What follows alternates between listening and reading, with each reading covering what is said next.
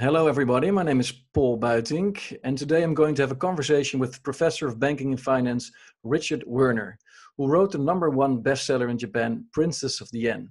He has also developed a theory of money creation called the quantity theory of credit. He is also the first economist who empirically proved commercial banks do indeed create money out of thin air when they issue a loan. We're going to talk about the way central banks and governments are managing the economic crisis, uh, particularly the ECB we'll also definitely are going to talk about central bank and digital currencies. Hi, Richard. Welcome. Thank you very much for having me, and I'm glad it's finally worked out. Yeah, yeah. It took us a few years to to to come to a date, but uh, this weekend uh, we made it work. So very very glad with that. Um, first, a bit uh, more about your background. Um, what are you currently up to? Uh, there's a few things. Obviously, uh, as a university professor, um, there's there's a lot of tasks there, online teaching, for instance, and uh, writing papers to be published in academic journals, which is a very slow process. Um, but then also various projects. I'm leading the project to establish not-for-profit local community banks in the UK, starting with the Hampshire Community Bank. Uh, we've just had our challenge session with the UK regulators, the Prudential Regulatory Authority and the Financial Conduct Authority, and passed it. So we're moving a step closer to getting our authorization, which is very exciting. Um, and of course, there's others. I've just launched a new uh, journal, academic journal called the Journal of Banking, Finance, and Sustainable Development. You can see that um, on the uh, webpage. The publisher is called College Press. So collegepress.org.uk um, the journals on there. That's just gone out um, this week, actually. Um, and what else? I mean, there's so many projects running. Amazing, we'll, many things at the same time as we go on. yeah, yeah. This, especially this this local uh, um, bank initiative. I'm look forward to hearing all the details about that uh, because that's actually one of the one of the main uh, topic I topics I wanted to address with you. Uh, I see on Twitter you've been very critical uh, on central bank policies, especially uh, ECB policies that uh, over time um, have led to the disappearance of many smaller banks. Um, yes. So, could you elaborate um, a bit more on what, what exactly is it that you don't like about ECB policy? Well, there's quite a few things, but let's start with the the anti small bank or anti bank policies. Essentially, since the ECB uh, was created and started business 20 years ago. Since then, um, 4,800 banks have disappeared in the Eurozone alone. And that is under the ECB's policy. now, I'm a firm uh, um, believer and fan of, uh, well, one thing Paul Samuelson did, and it's probably the only thing I like, and it's called his theory of revealed preference. In a nutshell, uh, don't believe what what people say they're doing and why they're doing things they're doing. Uh, they may not even know properly in, in words or in, in terms of uh, you know intellectual concept themselves. Watch what they're doing. Their actions reveal what they're doing. And of course, that's you know you could also have a, a christian interpretation you know jesus said by the fruits of the tree you will see is it a good tree or a bad tree? The result matters. So actions deeds and the results. And of course anyone in the markets is always looking at um, you know what is the actual action? You know you can say so many things. There's so much hot air in the financial markets being produced by people. Um, what are the actions? And use that principle to analyze central banks. Um, and really, we, we should start by looking at their fundamental claim. Central banks always tell us what's their goal, what are they trying to do? Well, we're here to achieve stability, stability of prices, stability of the economy, stability of growth, stability of currency, stability this, stability that. It's all stability, stability. Some speeches, um, I did word counts, and the time, the number of times they mentioned the word stability, quite amazing. Anyway, now look at the fruits, look at the result, look at the actions. What is the revealed preference? The revealed preference is quite the opposite. Stability is exactly what we're not getting from central banks. We're getting um, we're getting cycles. Business cycles. And in fact, the time of mere business cycles has also passed. We're in the era of boom bust cycles being created by central banks. The, and, and at the same time, you see, you have to be aware these central banks, they, they've become extremely powerful in the last 50 years. They became the most powerful actors. And of course, everyone in the financial markets is aware of that. Um, but it's it's interesting from a political economy perspective. They formally become so powerful as never before in history, in human history, um, and um, they can do what they want. Now, they may sometimes say, "Oh, we're doing this because the government is telling us to do." Well, if they choose to, but they don't have to, and often they will say, "No, we're not doing this." So again, reveal preference. You know what they're doing is what they want because this is particularly true for central banks. They have so many options. They have so many tools. They can invent new tools. Um, now, so we've got these very powerful players, and the ECB is the most independent, most um, unaccountable central bank um, in the world. Not necessarily in history, because as I wrote in my book, Princes of the Yen, um, and that was in 2003, um, I did an analysis of the structure of the ECB and how it's designed and its powers. And I concluded that it was not modeled on the Bundesbank. That was the official story. Look, that's it's the in Frankfurt. Yeah, that's it. It's you know the German, the German central bank is very successful. That's ECB is just a successor. It's just a bigger sort of Bundesbank. Um, well, I came to the opposite conclusion. What made the Bundesbank successful, they took away and what the Bundesbank's um, predecessor, highly unsuccessful predecessor, the Reichsbank, what made the Reichsbank the most disastrous central bank in the world, that's what they reintroduced in the ECB. So the ECB is not um, just a continuation of the Bundesbank, it's actually the revived Reichsbank, which is the title of the chapter in, in Princes of the Yen. And that's published in 2003. And I predicted that for these and these reasons, you know, read the details.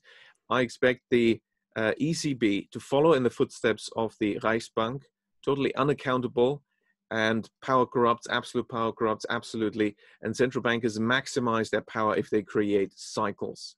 And it will create a bank credit driven um, asset bubble, asset bubbles in the Eurozone, um, which lead to banking crises and large scale unemployment, massive recessions. And of course, I mean, it was published 2003, but the, from 2004, the ECB started to implement this um, 20, 30% credit growth in Ireland, Portugal, Spain, and Greece, huge credit booms, busts, and then, of course, uh, large scale unemployment, 50% youth unemployment. So, um, and what is the, the what is the main objective then? So you, you say they create cycles, uh, and, and, what is what is what they want to achieve with those cycles then? Um, I started out discovering this and, and, you know initially i didn't know anything about this and i had the usual you know fairly naive view that you have when you study economics at, at university at lse oxford all the mainstream stuff. But i was then in japan for years and i realized just looking at reality well this is quite different. What's happening here is very different from these theories. Um, and in a nutshell what i discovered and documented in every detail from different angles in the book Princes of the Yen is that the Japanese central bank um, created this huge asset bubble and very long recession intentionally in order to achieve its actually goals that it had previously um, made known and I pulled all that together. So um, it's not with hindsight just saying okay you know just a new interpretation of the data with hindsight. No actually you could go back and you could see that they had actually uh, key people had said this and then you follow the data and follow their actions and the key policy tools which is all about what is the key policy tool of central banks. It's not interest rates. Interest rates is the price of money and i did also an empirical analysis of that. Um, they always say that lower rates lead to higher growth higher rates lead to lower growth and the um, uh, you know the economy follows these interest rate policies. Empirically there's absolutely no evidence for this whatsoever. The reality is that interest rates follow growth and they're positively correlated. So interest rates are not the key monetary policy tool of a central bank. That's not even possible. What is it? It's the quantity of credit creation. Yeah, and that's and the, but that's and, and with that policy, you could you could see what they were doing, and so the Bank of Japan was creating this massive asset bubble, and then it was tightening and creating this massive recession. Why? The goal was, as they had declared actually before all this happened, and that's you know I use that as a subtitle of the book, the structural transformation of the economy, which was essentially a U.S. plan, and the Bank of Japan was their agent in Japan um, to implement this because the the Bank of Japan plan was almost verbatim the same as what the Americans have been demanding in the negotiation with Japan structural impediment initiative. Japan has to change. We need to, you know, what was the story there? Well, it's obvious Japan was too successful. Japan was highly successful and the Americans didn't like it. That wasn't really the plan. Um, so they had to change. Officially, the Americans were advising the Japanese uh, in the 70s and 80s on how to improve their economy. Well, Japan was doing so well. Um, and did they really need American advice on how to improve the economy? Oh, you you are quite inefficient, and this is all this. You know, you need to deregulate, liberalize, and privatize, and then you get even more efficient. Oh, really? Is that really what America wanted? I don't think so. Of course, the goal was to destroy the Japanese post-war high growth system, and so not to have to deal with this threat anymore of course, the other threat this created was that other countries would adopt the model. And other countries did adopt the model early on. It was Taiwan and Korea that adopted this, and they, you know, just exactly the same thing happened, of course. Um, but then more in the in the um, 70s and 80s, increasingly developing countries were saying, "Hey, do we really have to adopt this IMF World Bank policy advice? Um, it's really not leading us anywhere good." And we've seen this. This Japan and then Korea, Taiwan, they're doing something different. Shouldn't we perhaps do that? Oh no, no, you that no, that doesn't work. It's very inefficient. Um, and of course, that's the other reason why they needed to destroy the Japanese model. And so, um, so basically, you're saying that central banks have a certain goal in mind, uh, yes. and and in order to um, to achieve that goal, sometimes a crisis is needed. Yes, of course, a crisis. I mean, how can America persuade and of course it was acting through the bank of japan but but also partly it was open in these political uh, negotiations trade negotiations uh, which concluded japan needed to change its economic structure the you know everything really. Um, and and how can america justify this logic? Like we were doing this to help japan to make japan even more successful. You know it's just totally implausible. Uh, the truth was is to destroy high growth, successful system. And there's no better way to do this than to introduce the IMF World Bank advice that had been given to developing countries for the last half century, over the last 70 years, namely to deregulate, liberalize, and privatize, and wipe out any domestic um, industries by totally opening up very early on. And essentially, you get bought up and taken over by foreign interests. So that's what Japan was supposed to do. And of course, um, that's and going and then going back to ECB. What uh, how could you draw the parallel to then to what's happening over the past twenty years with with the ECB and the policies they have um, implemented? Exactly. Actually, um, in in Princes of the Yen, I already show that this Asian crisis um, was also run by the central banks, the Bank of Thailand, Korea, Indonesia, um, which did the same thing, and the goal was again structural transformation to open up these economies for Western interests and um, essentially get rid of the high growth um, successful system and give it a bad reputation. And this is what many people think today. Well, this East Asian high growth didn't really work, did it? Um, and um, so that was that was the goal there. And what about Europe? Well, essentially, the ECB followed the Bank of Japan plot in in great detail and partly there's this very similar goals, and partly, of course, transferred to Europe. There were some different um, concrete goals of the structural transformation that they had in mind. Um, the similarity is the neoliberal agenda of deregulation, liberalization, privatization, which allows essentially the central bank to be the key agent. And part of these reforms is always to make the central bank independent, which the central bankers, of course, like. The Bank of Japan, when it created the bubble, and then bursted and started the recession, it was still not independent. So it had to work by stealth. It worked because of the um, this false economics, which made most people blind to what's really happening. And central banks have been doing a lot to support this false economics in their research departments. I mean, they're the biggest employer of economists in the world, and they produce very misleading economics in their research departments. Some, of course, some people there are very, you know, uh, well-meaning, and they're, you know, young, you know, uh, graduates, and they get hired, and they think they're doing the right thing. But it's very easy then to get manipulated into this um, neoclassical fiction economics using the deductive methodology with hypothetical axiomatic approach. You can come up with anything really on that basis. And so this central bank research uh, was used to uh, to propagate this. Um, and um, in Europe, um, this this neoliberal agenda was also a goal of the central banks. And of course, you know, ECB has been pushing that deregulation story and so on and so on. But at the same time, you say too much regulation is currently a problem and killing uh, small banks and actually benefiting the big banks. So well, but that's the irony. See, this is the contradiction. Uh, you're not supposed to notice these contradictions. So central banks say we need deregulation, liberalization, privatization. But what about the central banks as regulators? They're introducing after 2008 massive new regulations, killing banks.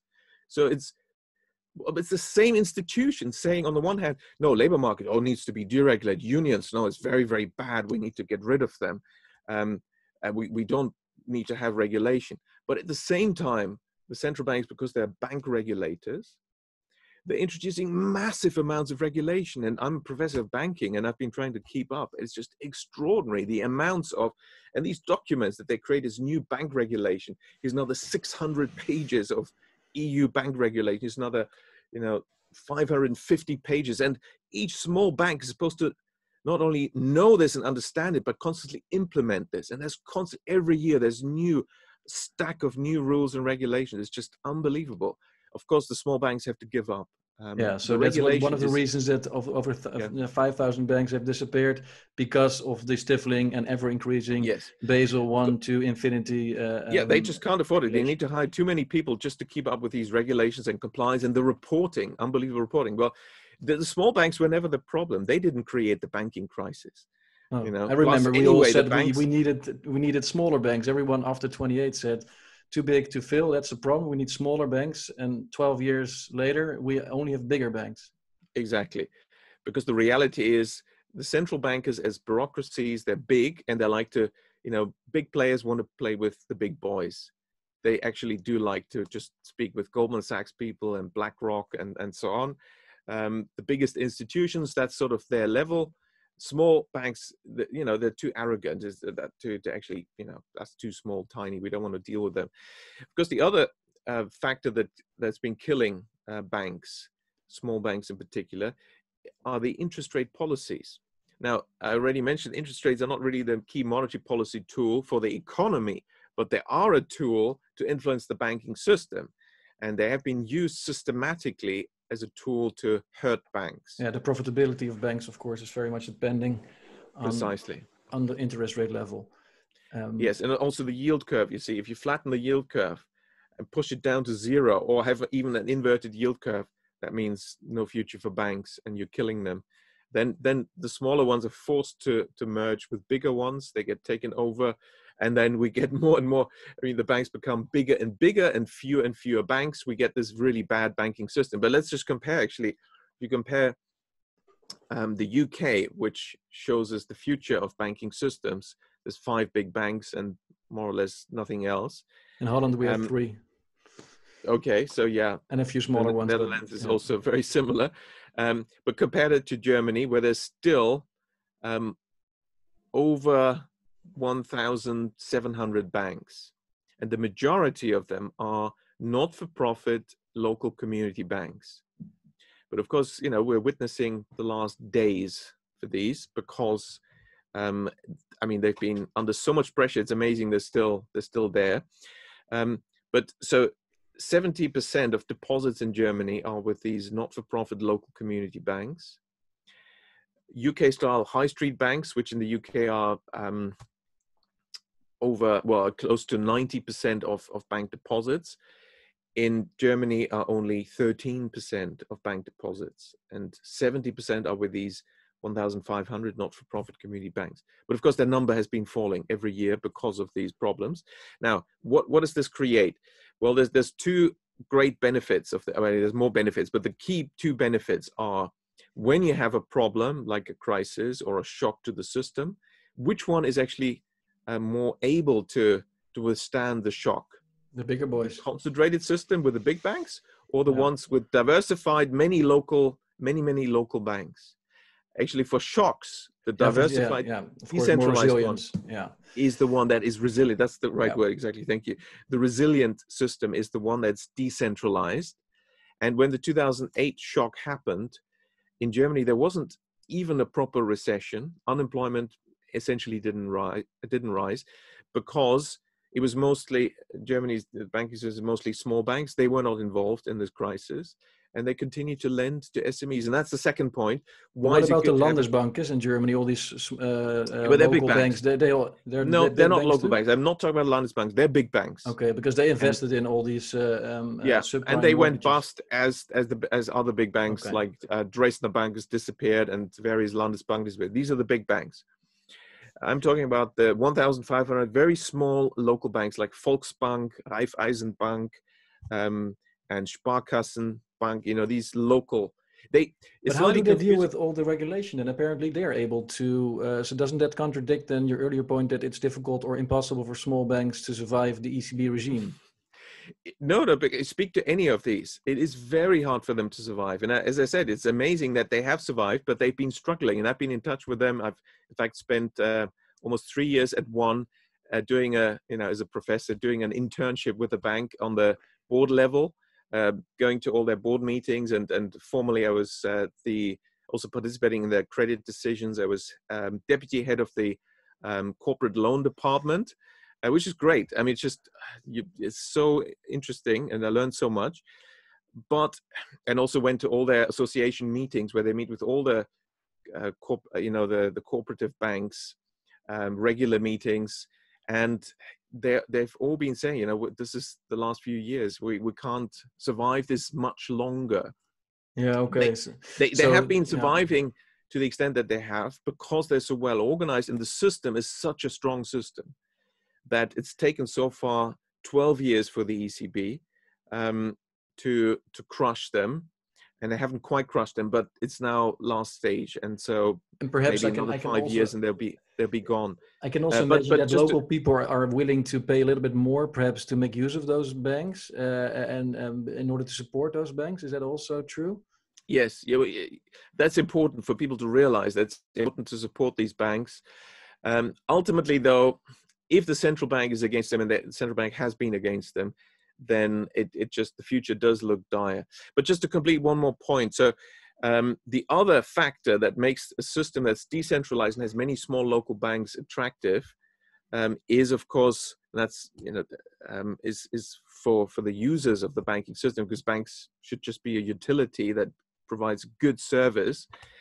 Um, that it it does that job whereas the big banks don't. Now, there's a fundamental rule in banking. Big banks want to do big deals with big players, they lend to big companies. Big banks don't really want to deal with small firms. But who's the main employer? And it's true for, for Germany, for the UK, for the US, for Japan. It is SMEs. SMEs are um, usually uh, the, the employer of between 66% of total employment in the UK, where they've been suffering for a long time, and that's why it's a lower number, to something like 75% in Germany or even 80% in Japan. Yeah, in the Netherlands, the same thing. They, they call the engine of the economy always. Uh, yes, and they are. They are. Now, um, and, and look at, at Germany. I mean, German economy uh, has been quite successful for the last 200 years. And the SME sector really has been an, a key engine of that. Just look at the exports. And of course, exports is a, is a good expression of competitiveness. And a big percentage of German exports are due to small family owned firms with n- names that you've never heard of. but they're global market leader in their narrow niche and they export across the whole world. How is that possible? This is not true for the UK. Absolutely not. What's the difference? Well, the difference is here we have a concentrated banking system consisting of these five big banks, 90% of deposits there, and they don't lend to SMEs. And that's that's well studied and researched. And every two, three years we get another banking commission report on the problems of the UK banking system. I like this one, the Colwyn Commission report proclaimed that after study and interviews and, and research conclusion the problem is that the big five dominate banking in the UK. Uh, they only lend to the, the big firms, they don't lend to SMEs, and they don't uh, give long term loans, only short term loans. So there's a big uh, credit supply problem for small firms. Colwyn Commission, and this was publicized in 1918 rinse and repeat. Yeah. over a century exactly yeah. over a century ago. But nothing was ever done about this. Well the alternative is of course the german system where you have many small local banks. And who do they lend to? Small local firms but the They're the only of, banks that will ever lend to with the risk firms. of sounding stupid but the ecb did um, provide for more than 1.3 trillion in loans to banks uh, also with an incentive for them to lend out to SME, right? They could even get an interest yes. kickback. They, they get money for free if they would lend out to SME. Yes. Yeah. You see, so and is that a good same, thing then? Is that a good policy too? Well, the same has happened in the UK. The government has tried, because the problem is recognized, so they've tried to bribe banks and they have this funding for lending scheme, which is what the ECB was looking at when it introduced its own scheme. Actually, it's first done here in the UK. Um, and essentially, it doesn't work. You can even bribe the big banks. They will still not lend to SMEs. It's just not worth their while. I mean, it's quite obvious, you know. If you're a big bank, uh, balance sheet of um, you know 2,000 billion pounds, and you want to grow because you're shareholder owned um, by five percent, I mean, you need to increase your balance sheet by billions, double-digit billions, 50 billion. So, um, what what do you what do you do for that? I mean, if you actually want to lend to SMEs, um, that's one thing. You could do that, and you need millions and millions of twenty thousand pound sized loans. And each time you have to do this analysis, credit analysis, check their usage of the funds. Is you know what are they doing, and so on. But it turns out that that cost and that time is exactly the same whether you give out a twenty thousand pound loan or a two hundred million loan. Yeah. We see a lot of fintechs, of do? course, trying to automate the whole process, and and some of these fintechs are actually owned by the bigger banks. So they're trying to find a way to uh, to make it possible to lend to an SME in a very cost efficient and easy way. Where you don't think that's that's going to make any difference. No, but but first, sorry, just to complete the your earlier question. So the irony is that um, you know that um, the ECB has been saying we want to encourage the banks to lend to SMEs, and and we're bribing them, you know, by by these programs, but it's not working because even the bribe is not big enough in the system and policy framework the ECB has created, which is um, a flat yield curve or inverse yield curve, negative interest rates. This lending is not um, profitable on the one hand, but on the other hand, also you're killing banks. You're killing banks, and they get bigger and bigger. And the fewer banks you have and the bigger the banks are, the less they're going to lend to SMEs. And that's what the ECB has been doing now for over a decade. And yeah. therefore, but, but just with the goal, oh, to, saying, oh, we have a bribe here, now increase lending. It's just not going to work. Yeah. The real problem is the systemic problem of the ECB's policy. Sorry, but is, is, there, is their goal then to uh, because it's you started the conversation with saying that ECB has an anti-bank policy, and, and then we talked about the small banks. Again, slowly but surely, the small banks are, are are disappearing. They're either bought or they merge or they stop. So we have a few big banks left. In the UK, it's five dominating the, the, the landscape. Here in Holland, we have three big banks having 80% of the deposits, I believe. So, but what is then the next step? Is, is, is it the ECB's goals to eventually do away with banks at all? Or do you think they want to keep a few big banks um, uh, in the end? Well, yeah, maybe it's time to talk about the, the end game. what is the end game?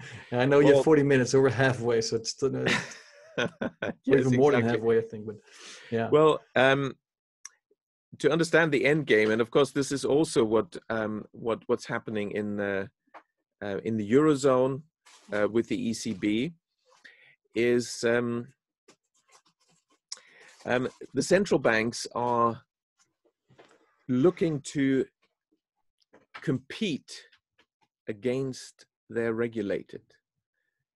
Now, just um, reflect on what's happening. The central bankers are regulators of banks, and the ECB has even become more and more powerful in being a regulator. By the way, I should add one thing.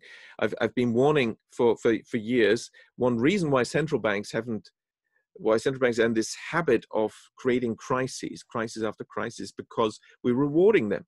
After each crisis, we make them more powerful.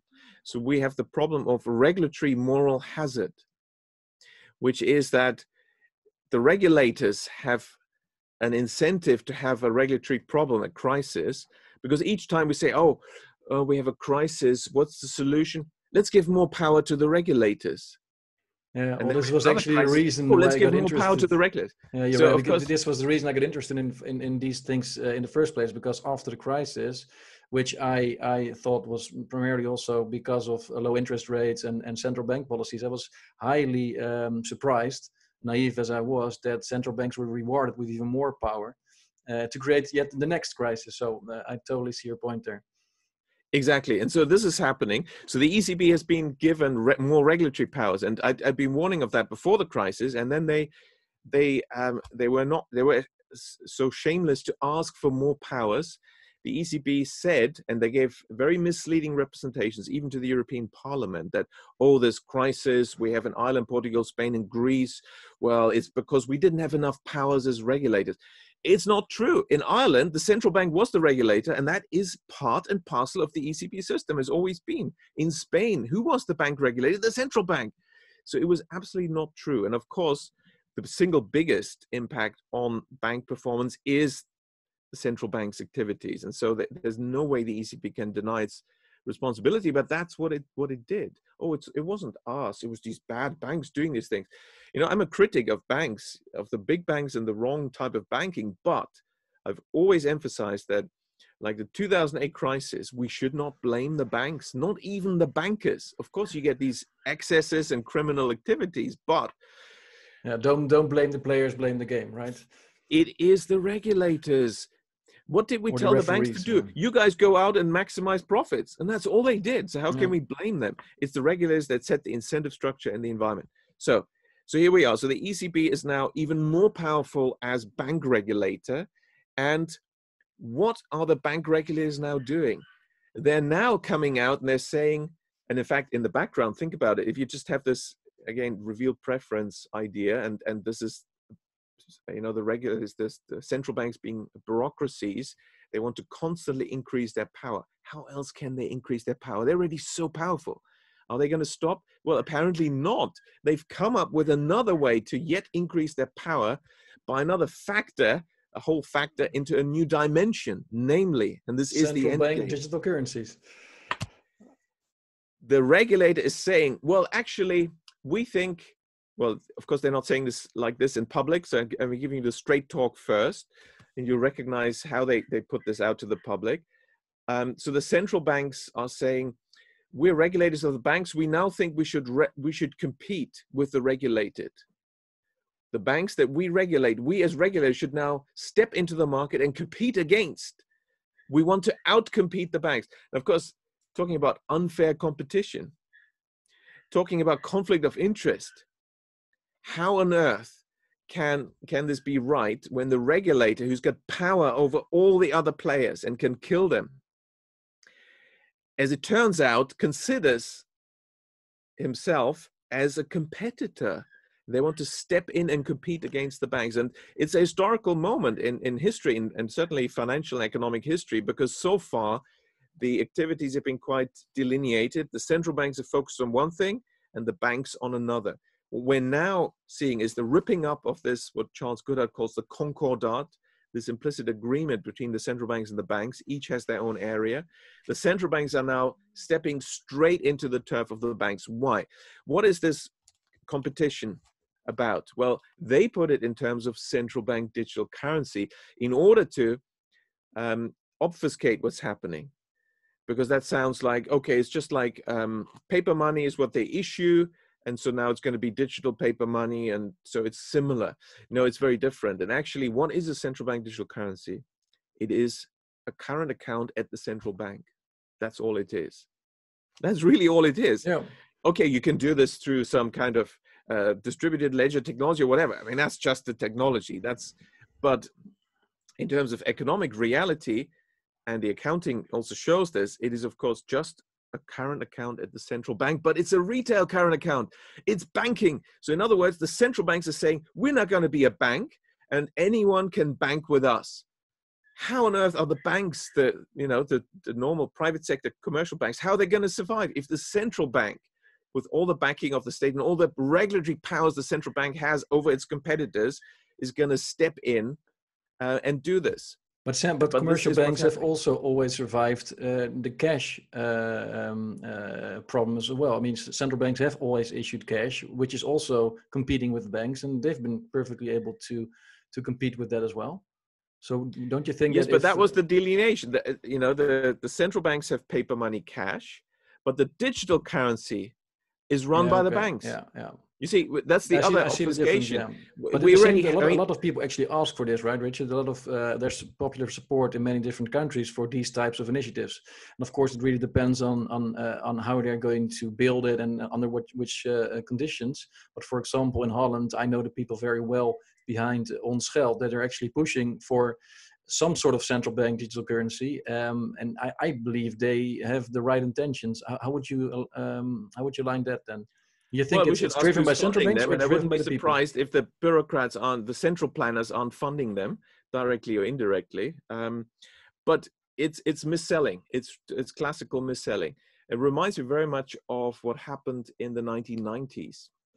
In the 1990s, we were told um, by various players, including the central planners, that oh, we need to we need to well, I should say the other way around what they actually were doing was they were abolishing the European currency in the 1990s. They were preparing the abolition of the European currency and they were selling it cleverly as the introduction of the European currency.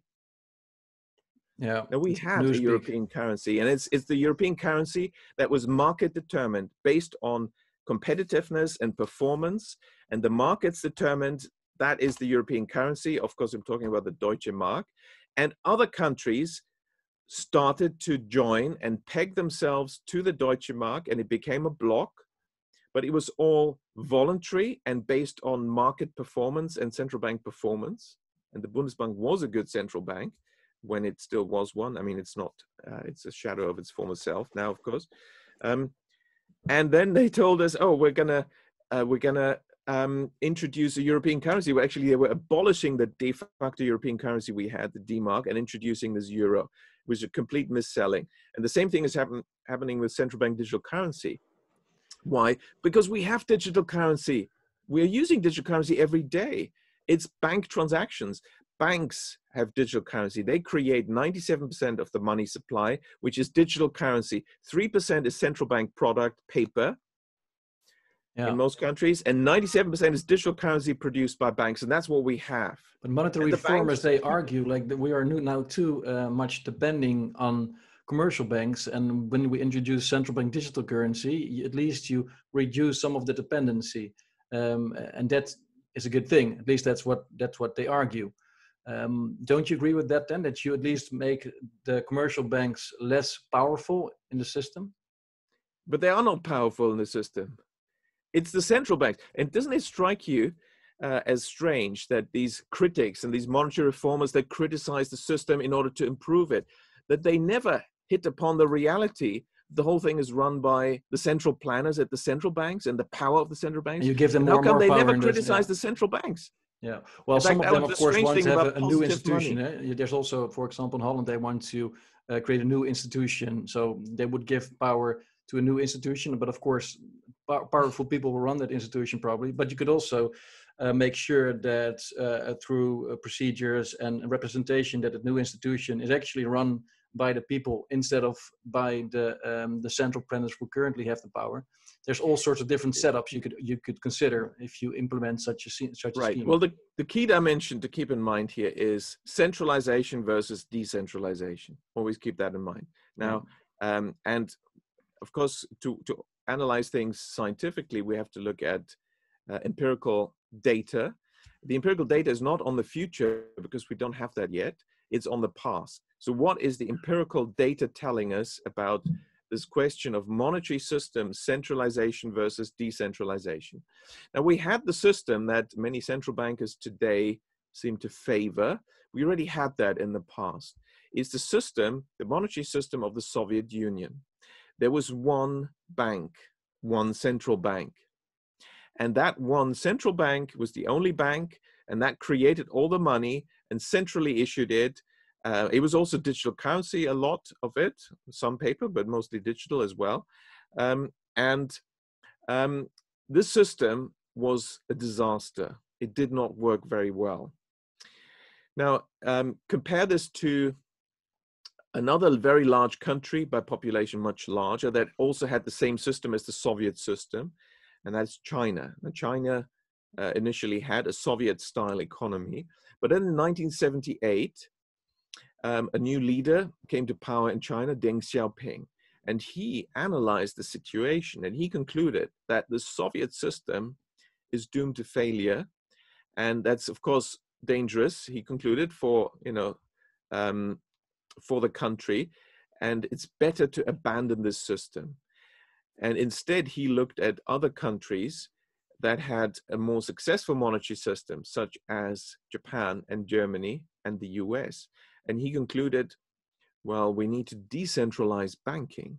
And so when he came to power in 1978, what, what was the key? One of the key things he introduced was he founded thousands of banks, thousands of new banks, local banks, small banks, uh, regional banks, specialized banks all across China. And the rest is history. That's how you get high economic growth. America, when it had high economic growth, it had um, close to 20,000 banks. Yeah. And and this is how you get economic growth. And as we said earlier, that's also resilient. You want the you, money 100%. creation yeah, well, you want more decentralization, but this, but then if I follow your uh, logic, do you believe then that by introducing central bank digital currency, for example, in the eurozone, the end result will be a one bank Soviet style financial system where where the ECB has has has has gained all the power and all the other banks have disappeared, even the big banks? Is that the end result? Of course, there's no other there's no question about it in fact there's actually a study now just come out uh, by the federal reserve bank of philadelphia saying just that that once we introduce central bank digital currency the banks will disappear um, and um, they will either disappear through the political process that's what the monetary reformers like positive money want they want to abolish banking uh, because once you take the power to create credit from banks, they're not banks anymore. So you know they're non-banks. Yeah, because they want so banks to be intermediaries. They want abolition. They're not banks anymore. Once you can't create money, that's what makes banks different. That's what makes banks yeah. banks. So they want to abolish banks. So either the political process abolishing them, or as we had in Switzerland, this um, referendum, the population decided to keep money creation decentralized and keep the decision making decentralized and not centralized control in the hands of the central planners. Um, or the market will, once you introduce the regulator as a player, that will create through market forces uh, the same situation where all the other players will die out. But we know then, uh, if you look back at history, it will lead to another crisis in, in the future because if we have one uh, bank left, the central bank, the, uh, eventually there will also come crashing down as we've seen from the past so that the central planners probably know that this that uh, experiment will end up eventually in disaster so well that's not be, how they think their, that's not how they think that you have to think that there's a theory called the theory of bureaucracy uh, which is quite useful it's from politics political economy and, and that needs to be applied to central banks. Of course, a bureaucracy wants to become ever more powerful. So, from the viewpoint of the central planners, the story is um, we need more power. Um, who's creating money? Oh, it's the banks. We don't like that. We want to be the monopoly. We want to create all the money. So let's start competing against the banks. And of course, you know, you see, the central bank digital currency plan is quite old. I mean, they've been discussing this for over 10 years. And therefore, we should, now that it's very clear what their plan is, they've come out into the open, we should review their past policies for the last 10 years. Um, in this light, because then we'll see that maybe they weren't actually doing a good job as regulators. Maybe they were already biased by the fact that they wanted to kill banks because they're going to join the fray and become competitors. And and of course that's what what actually happened but it reveals that they were not doing a good job as regulators therefore why should we give them more power it's the same regulatory uh, moral hazard bad regulation is being rewarded by giving them more powers. So there's no there's no question about this that so from a central bank's viewpoint um, they want to um, compete against banks and they know that the banks will disappear. And of course they can help this disappearance in many ways and they've they've done this and they've shown the, their hand yeah so they know this. they will get power but in the end they also must realize that power eventually they cannot handle but that's not how central planners think central bankers do recognize there's risks but each time they will say well we can mitigate this risk how by increasing our control so you see, once you have central bank digital currency, we will abolish, of course, cash. Banks will be either disappeared or will be formally abolished. Uh, so all the competition will be abolished. And then how can we control things further? Well, we will have negative interest rates, of course, and we can help ourselves from people's pockets. Then we can actually essentially usurp the treasury departments, finance departments. There will be a takeover by the central bank of the government because uh, and, and here's the other strand that we haven't mentioned yet, which is all linked to this. At the same time, what's being propagated in the last 10 years is this idea of universal basic income. Now, that's a very old idea. Um, it goes back over a century. Social reformers, socialist um, campaigners had said this 100 years ago. We need this, uh, whatever, people's dividend or something like a people's salary, uh, universal basic income. You know, okay. Why is this idea, which used to be radical communist socialist 100 years ago, suddenly now propagated by the billionaire class? Literally, you've got the billionaire families coming out and Zuckerberg and all these people. UBI is a good idea. We're supporting this idea. And of course, now with this COVID um, crisis in inverted commas, um, all these trends are being accelerated, whether central bank digital currency or this basic income, which is essentially being paid out in the US already, or you know, in, in various ways being introduced now. Um, the idea is this essentially makes people totally dependent, and the control of the system is increased, and the universal basic income is essentially then this. Um, you know, you get some credits in your central bank digital currency account with the central bank. Um, and it's all centrally dished out the reward but also the punishment no more so privacy worried about crises well we now have total control if there's some troublemakers we'll switch them off yeah. Um, we see what people are doing we see where, where they, where they are what they're buying and selling oh here's a critic of central banks well sorry uh, there's a technical problem with your digital currency so it's a bit like what we already see in China the, with the social credit system. Uh, it's worse. It's worse. Actually, the Chinese, uh, to be fair to them, they um, so on the front of digital currency, they thought about this apparently, because what I realized when I studied this is that they've designed their central bank digital currency in order to ensure that the great innovation that Deng Xiaoping introduced 40 years ago in China will continue. In other words, they're not going to harm the banks, and their um, digital currency system is designed to work with the banks, not against the banks. So it's worthwhile for us to study that because that should be the model, really. Uh. Uh, the social credit uh, uh, rating, of course, you know that's maybe something that's we don't dystopian. want. Yeah, but uh, uh, okay. So I, it's very interesting the points you make, and you, of course, you're an academic, but you also practice what you pre- preach because you're setting up local banks in the UK. But it strikes me that um, that will be a very difficult uh, uphill battle um, because you still ha- you still have to participate in the banking system in the UK. You still have the Bank of England. You still have all the stifling regulation.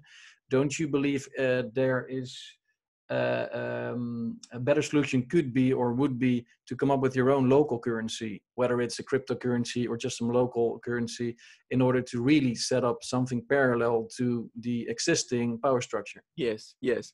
Well, I think that's that's that's an issue. Um, I mean, if you pursued that and if you think it through, you will find there is there's some obstacles to that. And and and for example, like um, some people you mentioned earlier who've been trying to introduce alternative currencies, it, the problem is always to get people to actually use it. And therefore, you have to work in steps and in phases. And the first step is to create that local community and a local common um, financial infrastructure. And that is exactly what local community banks are doing. That has to come first. Then you can talk about you know what to do next with with local currencies. Yeah interesting. Well i know i've already used up a lot of your time but it's such a fascinating conversation it could go on for hours. Uh, and do you think covid could lead to more localism? Because uh, people travel less people uh, tend to possibly uh, look for more local solutions in supply chains. Do you believe that could be a positive side effect of, of the uh, covid crisis? Well the the policy decisions of course are towards acceleration of the whole um, control and central planning agenda. But I think in people's minds, a lot of people have started to think, well, hang on, we, we have to watch out. These central planners are not necessarily thinking of our good, of our, you know, of, the, of ordinary people. And therefore, who is going to help me? It is your local area, it is your neighbors, it is your family. And I think a lot of people have realized that but that that wasn't the plan but i think that's you know, that that is a development so there is hope and i think yes with the right local activities we can turn this into something that accelerates local community development that's a hopeful uh, message to end the conversation with i think richard uh, or is there anything else you want to you want to add well, I think that's fine. We'll, we'll just have to have another conversation next time. yeah, I think so. Yeah, because there's so many things to discuss. But um, I, I, definitely would advise people to at least watch the documentary, "The Princes of Yen," because um, it's it's an it's an it's a classic already. It's been watched many times uh, online, millions of times. And your book, of course, was a bestseller in Japan. So if you don't have the time to read the book, at least um, watch the documentary. I'll I'll put it in the show notes. And yeah, it would be nice to have this conversation again, uh, Richard, in the yes. future, uh, um, because yeah. There is one thing I'd, I'd like to mention having um, thought about it quickly when you said, is there anything else? Well, um, actually, there is one thing, and that is um, in our movement to establish community banks, we need supporters and we need help. Of course, it would be nice if we could receive help from very uh, powerful players, namely the big banks. And I've been trying to reach out to big banks to um, to try to understand that um, by helping us, they're helping themselves. And here's my logic I'm actually quite shocked that the commercial banks, the big banks, don't realize what's happening. They're doing nothing in order to uh, fight for their survival. They're about to be annihilated. They see smaller banks disappearing and they think, oh, that's fine, we're big but actually you know that's you know soon they're becoming for the for for you as well you know for the big for the big boys. And when the for them to survive when uh, the, the, the the laws are being put before parliament to abolish banking entirely there, there will be some debates hopefully still um, but for the big banks it'll be very hard to argue oh no we are doing a good service to society therefore we need to survive. Nobody's going to believe them but if they can say, um, okay, we've been bad in the past, but if you abolish us, you'll also abolish these community banks. You see, they have a chance then of surviving. And people saying, no, actually, we don't want that. So maybe we shouldn't abolish banking. And that's why they should support small local community banks who are not really threatening the big banks. But therefore, a cooperation with the big banks would be in their interest. And so perhaps if you know some big bankers watching this, you know, do I'd like to reach out and do get in touch. Cool. Well, that would be a very uh, interesting alliance then. So maybe, maybe we will would see big bankers with pitchforks at some point. now, I'm sure um, a lot of bankers uh, will watch this uh, interview as well, and, and if they can um, help out uh, community banks uh, such as your initiative, that would be great, of course. So thanks, uh, thanks a lot, Richard, and have a good weekend. And um, yeah, let's see, maybe we can do it again in the future. That'd be great. Okay, thanks. It was a pleasure. Bye bye. Bye.